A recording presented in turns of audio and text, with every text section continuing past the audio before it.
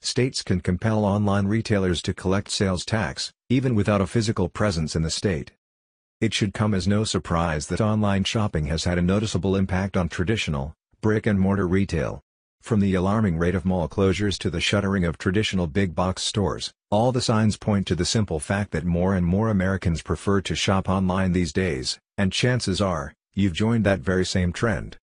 But it seems like the days of tax-free purchases might be coming to an end.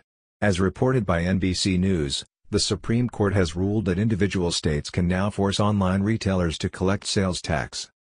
A little background info might be in order. Both in 1967 and 1992, the Supreme Court ruled that states did not have the power to compel mail-order catalog businesses to collect sales tax unless an individual customer happened to live in a state where the company had a physical presence, which could include a distribution-slash-shipping center, an office building, or a retail location. The reasoning behind this?